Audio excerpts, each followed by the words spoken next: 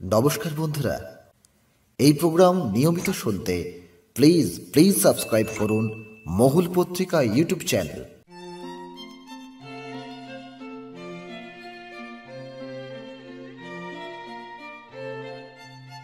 তালপাতার এক সেপাই ছিল, বলছি শোনো গল্প।